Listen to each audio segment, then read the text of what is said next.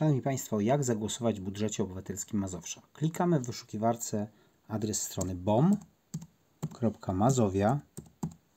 przez v.pl. Pojawia się strona, na której widać ile pozostało do, do zakończenia głosowania. E, przypomnę, iż głosowanie trwa od 29 maja do 23 czerwca. Klikamy Głosuj online.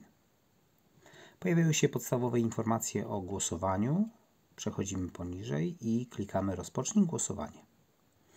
Wypełniamy e, formularz danymi, imię, nazwisko, numer telefonu, Wybieramy powiat, y, w jakim zamieszkujemy.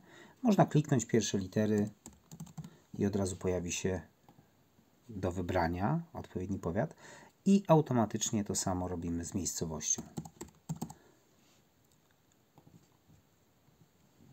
Następnie klikamy, czy jesteśmy osobą pełnoletnią, czy niepełnoletnią. Jeżeli klikniemy, że jesteśmy osobą niepełnoletnią, pojawi się informacja o wpisaniu danych do osoby, E, do rodzica bądź osoby do prawnego opiekuna.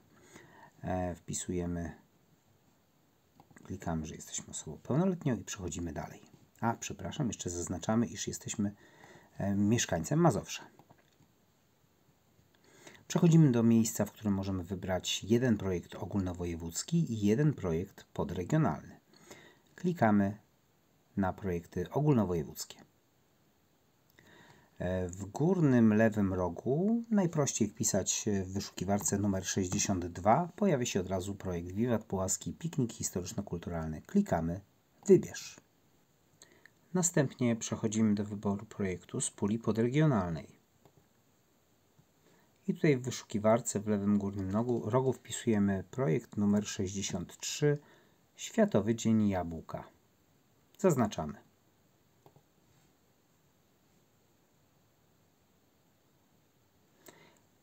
Mamy dwa projekty zaznaczone. Klikamy dalej.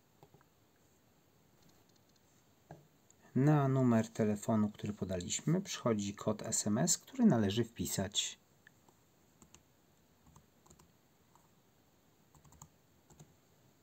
Dziękujemy, głosowanie udało się. Zagłosowaliśmy na dwa projekty ogólnowojewódzki podregionalny. Dziękujemy, liczymy na Państwa głosy.